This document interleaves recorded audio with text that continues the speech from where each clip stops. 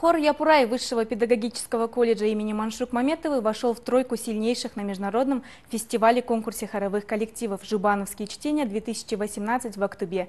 Лауреатов престижного фестиваля встретили дома заслуженными почестями. В международном фестивале конкурсе приняли участие известные хоровые коллективы из Оренбурга, Казани, Санкт-Петербурга, Саратова. Казахстан представляли четыре коллектива. Камертон Национальной консерватории имени Курмангазы из Алматы, коллективы из Атрау, Актубе и Казлардинский Япурай. Состав жюри под председательством народного артиста Казахстана Базаргали Жаманбаева был звездным. Выдающийся российский деятель культуры Борис Тараканов, Сергей Якимов, латвийский композитор Евгений Устенков, известный казахстанский композитор Галымжан Берекешев.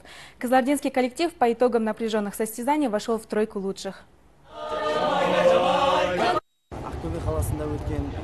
2018 халықаралық На международном фестивале «Жбановские мелодии-2018» в Актубе Хорья Пырай завоевал третье место и денежный приз 100 тысяч тенге. Победа далась нелегко, потому что соперники были сильные.